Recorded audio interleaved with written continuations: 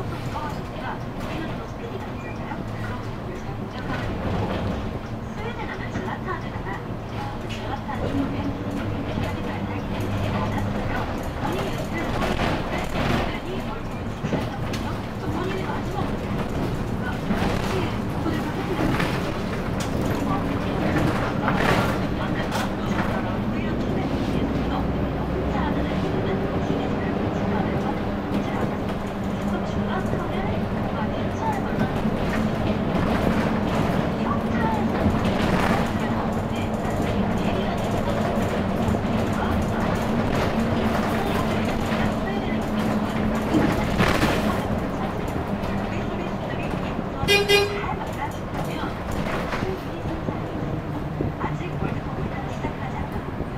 아직 뭐 벌써부터 희망을 버리지 마시고 할 수 있습니다. 그죠. 첫 경기가 너무 중요한 것 같아요. 스웨덴 못 잡으면 안 끝난다는 얘기들도 많이들 하는데 네. 아무튼 내일 꼭 지켜봐야 될 것 같고요. 네, 참고로 내일 9시에 이제 경기인데 인천에서는 이제 그 동인천역 국방장과 네. 전용 경기장에서 거리 응원을 하겠습니다. 많은 분들 찾아가셔서 또그 열기 함께 즐기시길 바라겠습니다. 네, 메이저리그 또 얘기도 해보면 우리 추신수 선수 네, 연속 출루 기록을 계속 이어가고 있죠. 그렇습니다. 오늘도 이제 콜로라도와 경기가 있었는데 3타수 2안타 1볼넷 쓰고 출루 경기를 계속 이어나갔는데요. 3타수 2안타 1볼넷 그러면 세 번 쳐서 두번 세 번 들어서서 두 번 안타 치고 한 번 걸어 나갔다는 얘기거든요. 다 나갔다는 얘기죠. 그러니까 그만큼 선구안이 굉장히 뛰어난 거고 지금 페이스를 계속해서 잘 이어나가고 있습니다. 주신 선수. 30경기 연속 출루는 대단한 기록을 세우고 있고 본인의 제가 계속 말씀드리지만 본인의 최고 기록 35경기에 지금 이제 단 5경기 일주일 남았습니다. 하지만 이 테, 그 텍사스가 팀이 계속해서 뭐 역전패 당하고 계속 안 되면서 이 추신 선수가 이렇게 해나가는데 재미가 없는 거예요. 본인도. 네. 근데 오늘은 이제 그 치료패를 드디어 끊어냈거든요. 그래서 어, 지금 아메리칸 리그 서부 지구에서 텍사스가 5등 꼴찌입니다. 네. 하지만 이제 요 7연패 끊어냈으니까 또 연패 뒤에는 다시 연승이 따라오기도 하잖아요. 그런 부분에서 텍사스도 조금 치고 나갔으면 좋겠습니다. 추신수 선수 지금 주, 어, 그 타율은 2할 7푼 5리까지 올라갔습니다. 네, 마지막으로 국내 프로야구 짧게 들어보도록 할게요. 네, 지금 두산과 LG의 연승이고요. LG가 지금 참 이번 시즌 들어서 처음으로 우여곡절 들렸습니다. LG가 좀 살아나고 있는 상황인데 오늘의 어, KT가 어, 지고 있었는데 지금 방금 동점으로 박성민 기자라는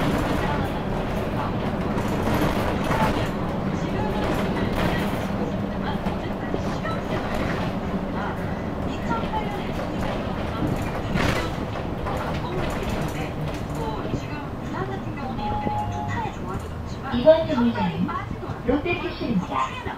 다음 정류장은 강문수학교입니다.